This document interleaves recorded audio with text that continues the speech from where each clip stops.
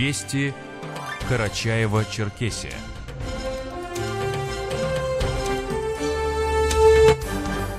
Здравствуйте, Умар Тикеев о наиболее заметных событиях республики. Вот что главное сегодня. В 13 МФЦ республики стали доступными оформление документов на газификацию жилого помещения и техническое обслуживание внутридомового газового оборудования. В поселке Правокубанском Карачаевского района появится новая котельная. Авиакомпания Red Wings свяжет Ставрополь и Стамбул. Рейсы будут запущены 14 ноября. В рамках акции «Сохраним лес» в республике будет высажено более 14 тысяч саженцев. А теперь об этих и других темах подробнее. 20 октября в 11 часов в Большом зале Дом правительства состоится очередная 41-я сессия Народного собрания.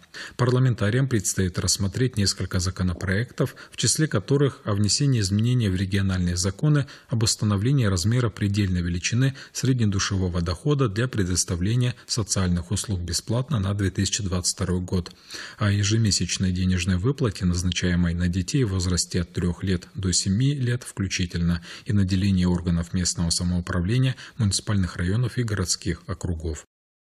На базе образовательного центра «Сириус» в Сочи прошла межрегиональная конференция для представителей субъектов России и получателей субсидий на создание региональных центров в 2023 году.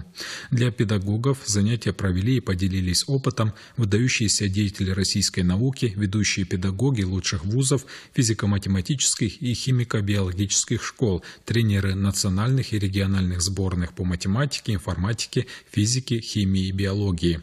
Карачаево-Черкесию представляла делегация во главе с заместителем министра образования и науки Лейлой Атаевой. Делегация регионального Минсельхоза во главе с руководителем ведомства Анзором Боташевым совместно с главой Адыгехабельского района Эдуардом Деревым посетили АПК Приэльбрусье. Гости осмотрели яблоневый сад интенсивного типа, оснащенный противоградовой сеткой, производственную площадку и фруктохранилище с сортировочно-упаковочным оборудованием вместимостью 5000 тонн. Общая площадь сада составляет 250 гектаров. На сегодняшний день уборка урожая идет полным ходом уже собрано более 6 тысяч тонн с площади 97 гектаров. В Северокавказском институте, филиале РАНХИКС, в рамках федерального проекта содействия занятости продолжается бесплатное обучение граждан по программам профессиональной переподготовки и повышения квалификации. Подробности сообщил директор Северокавказского института филиала РАНХИКС Азамат Лисов самые разные программы. Это и кадровый аудит, э, это и оценка недвижимости, это и программы, связанные с управленческими компетенциями и так далее. Поэтому спектр очень обширный, и я уверен, что те программы, которые реализует президентская академия, позволят нашим гражданам улучшить свое положение и в организации, и найти новую работу в случае такой необходимости. На госуслугах проходит голосование за бесплатное подключение малых населенных пунктов к мобильному интернету. Села, поселки и деревни с численностью жителей от 100 до 500 человек, которые наберут больше всего голосов, будут подключены к 4G уже в этом году. И вот за какие населенные пункты республики можно проголосовать. Баралки, Дубянский, Нижняя Ермоловка, Новоисправнинский, Фроловский, Хуса-Карданек, Эльбрусский, Евсеевский, Козалтагай, Солнечный, Ершов, Пхия и Абазакт. Голосование продлится до 12 ноября. В 13 многофункциональных центрах «Мои документы», расположенных во всех городах и районах республики, стало доступным оформление документов на газификацию жилого помещения и на техническое обслуживание внутридомового газового оборудования и на поставку газа для обеспечения коммунально-бытовых нужд, получение услуг газовых компаний в МФЦ одновременно с подачей документов на регистрацию недвижимости позволит жителям республики заметно сэкономить время.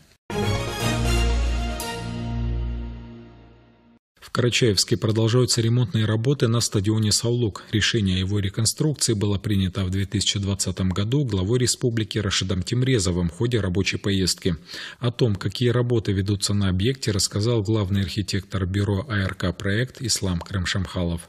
Проводим реконструкцию всего стадиона, начиная от футбольного покрытия, заканчивая под трибунными помещениями и самими трибунами и при благоустройством прилегающей территории. После реконструкции на стадионе появятся две раздевалки для двух футбольных команд, необходимые санитарные помещения и на втором уровне трибуны будут размещены комментаторская и вип-ложа.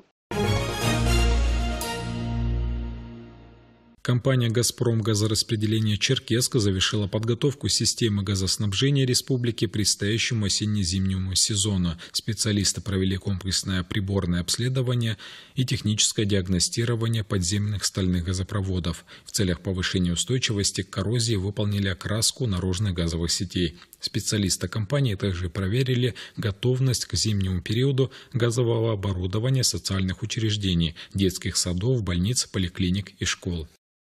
Энергетики Карачаева-Черкесии завершают подготовку питающих центров республики к зимнему сезону. Всего к прохождению пика нагрузки на сети подготовлено свыше 2000 единиц основного и вспомогательного оборудования. Ремонтные работы и техническое обслуживание проведены на 62 питающих центрах, от которых электроэнергию получают все населенные пункты республики. В Карачаево-Черкесском государственном университете имени Умара Алиева продолжаются работы по капитальному ремонту общежития для студентов. Компания по капремонту вузовских общежитий реализуется в России с сентября прошлого года по инициативе партии «Единая Россия». Комментирует информацию ректор университета Таусултан Узденов. Мы к концу этого года, к концу декабря, мы должны полностью завершить и отчитаться перед Министерством науки и высшего образования о завершении ремонта. Что касается дизайна наших проектов, это такой очень современный студенческий молодежный проект. Итальянский проект был в фасадах именно в таком цвете. Но они в таком темном цвете не останутся. На них будут наложены специальные аппликации из железа, которые будут отражать игра света, тени. Это все будет очень интересно и привлекательно. В Аулихабес в следующем году начнется строительство нового здания для лицея на 254 места, так как существующее здание уже признали аварийным. О том, что будет в новом здании, рассказала директор лицея Елена Кетова. Новые кабинеты, оснащенные современным оборудованием, новая территория, это новая спортивная площадка, зеленая зона, ну и соответствующее все это будет соответствовать именно новым стандартам. Строительство начнется в начале 2023 года, и к концу 2024 года у нас будет новое здание, и все оборудования тоже будут, соответственно, именно вот к этому сроку. Авиакомпания Red Wings свяжет Ставрополь и Стамбул. Рейсы будут запущены 14 ноября этого года. Это направление уникальное и будет доступно только пассажирам этой авиакомпании. Ставрополь удобно связана автомобильными дорогами с Краснодаром и Ростовом-на-Дону, что позволит их жителям путешествовать в крупнейший и один из самых интересных городов Европы через аэропорт Ставрополя. На маршруте будут задействованы современные российские лайнеры. Рейсы будут выполняться по понедельникам и четвергам. В поселке Правокубанском Карачаевского района появится новая котельная. Сейчас начинаются работы по разработке проектно-сметной документации объекта, строительство которого начнется в следующем году, а ввод в эксплуатацию намечен на 2024. Благотворительный фонд созидания реализует проект «Страницы века» к столетию Государственной национальной библиотеки Карачаева-Черкесии имени Хальмат Байрамоковой. Как отметила руководитель проекта Ася Байрамокова, проект направлен на популяризацию русской литературы и литературы народов Карачаева-Черкесии путем создания серии документальных фильмов о библиотеке. Видеокнига, ну это мы так красиво называли документальный фильм о библиотеке. И видеокнига, как любая другая книга, будет содержать несколько глав. Ну, в нашем случае это пять глав. Каждая из глав будет посвящена определенной теме, но всех их будет объединять Национальная библиотека. В одной главе мы там рассказываем про сотрудников, про тех, кто там работал когда-то, про их обычаи, традиции, ну что-то вроде семьи, потому что коллектив — это семья. В другой главе мы будем рассказывать про историю становления библиотеки, про роль библиотеки в культурной жизни Карачаево-Черкесской республики. В другой главе мы будем рассказывать о писателях и поэтах, э, в судьбе которых библиотека сыграла тоже не последнюю роль. И пятая глава, она как заключительная будет, у них же будет праздничное мероприятие, в октябре хотим это снять как отдельную главу. Но мы хотим показать через каждую главу, насколько важна библиотека в судьбе и самой республики, и в судьбе там, наших поэтов и писателей. Мы их будем объединять в итоге в один фильм, чтобы у зрителей, у всех желающих была возможность в каком-то одном файле это все посмотреть. Мы, кстати, хотим потом вот этот общий документальный фильм показать во Дворце культуры города Черкеска, там на большом экране, пригласить гостей. В образовательном учреждении поселка Кавказского Прикубанского района открылся клуб «Юный шахматист», где учащихся младших классов будут обучать занимательной игре в шахматы, а в качестве наставников выступают участники Совета старшеклассников. В процессе наставничества дети проявляют свои индивидуальные творческие способности, учатся жить в коллективе, с уважением относиться к людям старшего поколения и заботятся о своих младших товарищах. В рамках акции «Сохраним лес» высадят более 14 тысяч саженцев. Центральная акция, которая пройдет на землях лесного фонда Зеленчукского лесничества в связи с погодными условиями, перенесена с 21 на 19 октября. В общей сложности в рамках акции в период с 19 по 22 октября на территории Карачаева-Черкесии пройдет 22 мероприятия по посадке саженцев различных пород деревьев. Акции пройдут как на землях лесного фонда, так и на территориях ряда муниципалитетов. «Сохраним лес» – ежегодная всероссийская акция по восстановлению лесов, реализуемая в рамках федерального проекта «Сохранение лесов» нацпроекта «Экология». Министерство природных ресурсов и экологии совместно с добровольцами ликвидировало несанкционированную свалку общей массой порядка 100 тонн, это 13 КАМАЗов. Она образовалась после летнего туристического сезона. Данный участок лесного фонда является излюбленным местом установки палаточных лагерей.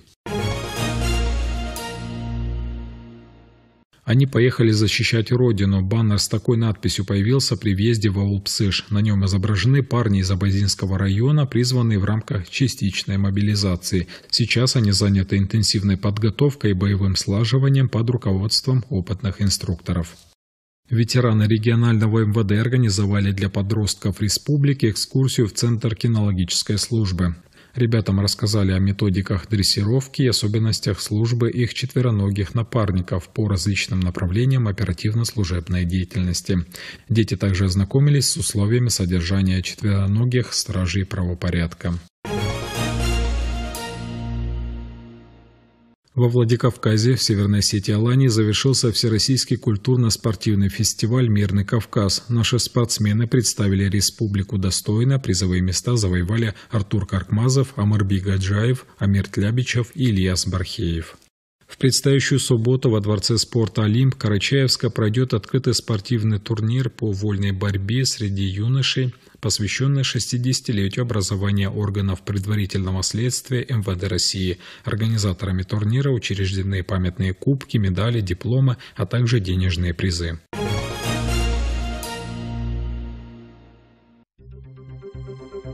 Радио России. Карачаево-Черкесия. Погода.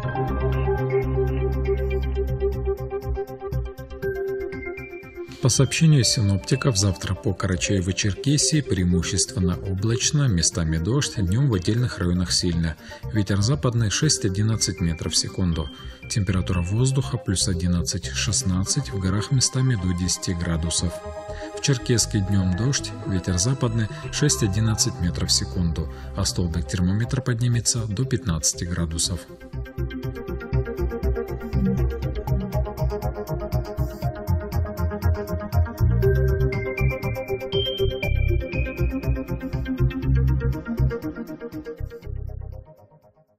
Это все новости к этому часу. С ними вас знакомил Умар Тикиев. Берегите себя и своих близких. Всего доброго. Реклама. Чавыча, семга, красная икра. На рыбной ярмарке «Дары Камчатки» с 20 по 23 октября в Доме предпринимателя Черкесск, улица Горького, 8. Полундра! Пираты захватили Кисловодск. Захватывающее цирковое шоу с 29 октября в Кисловодском цирке. 296-58. Спешите узнать тайну пирата. Вы слушали Радио России Карачаева-Черкесия. До новых встреч!